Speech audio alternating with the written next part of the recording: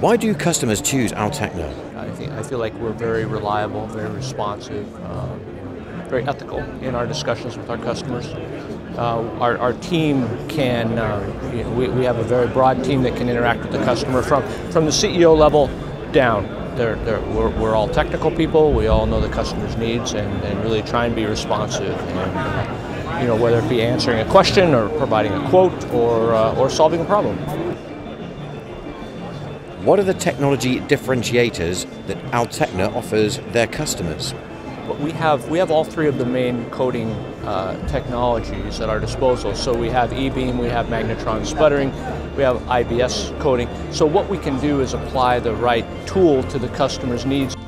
As well, we've developed a, a very strong supply chain because we, we, we do, do, the coatings with, with the substrate suppliers, with the glass manufacturers, and as well, um, customer driven, uh, we've really brought up our module capabilities, so meeting our customer at their point of need and, and not just providing the coatings or the optic, but perhaps you know, a, a, module that, that, you know, that we can then ship to the customer, full turnkey, fully tested, metrology is very strong, and uh, you know, again, uh, move, moving up the food chain for our customer at our customer's request.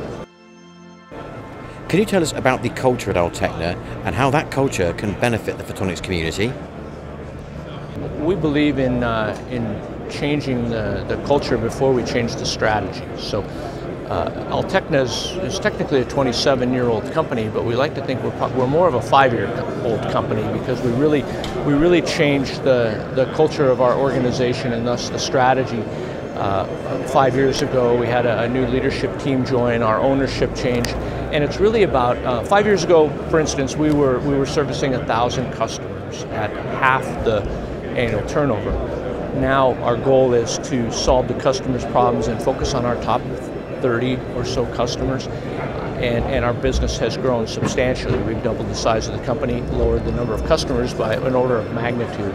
So that's really the culture. So solving solving our top customers' problems uh, and, and, being and being their supplier of choice.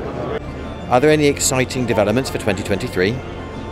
We, we made the decision uh, two years ago to really invest in the company at, at, a pretty high rate. So we invested in 2022, we've invested half of our revenue from 2021 back into the company. So we've moved two factories under one roof, state of the art facility.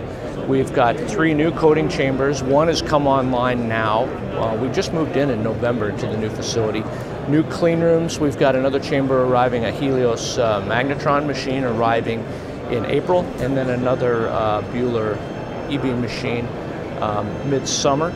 We've, we've expanded our clean rooms to do to, to enhanced module capabilities, inline uh, ultrasonic cleaning. So brand new factory and, and our capacity, that's the beautiful thing for 2023, our capacities are, are up by, by double. So that's, I think that's exciting in this, in this current climate where so many of my colleagues around this hall are talking about being you know, overloaded, they can't handle the business they have, lead times are extending, not satisfying the customers. We actually have capacity to offer in 2023. So actually, you know, offering our customers, you know, aggressive, aggressive lead times, new technology. Um, so that, that's quite exciting. We've actually established uh, an entity in the U.S. now, so we actually have, you know, I'm part of that entity. So really trying to do more with our customers here. The U.S. is our fastest growing market. We've doubled our business in the U.S from, uh, from 2021 to 2022, and we expect to do that again this year. So there is definitely a need in the U.S. for, for good optics companies that want to serve their customers, and um, you know I, I expect we'll be part of that.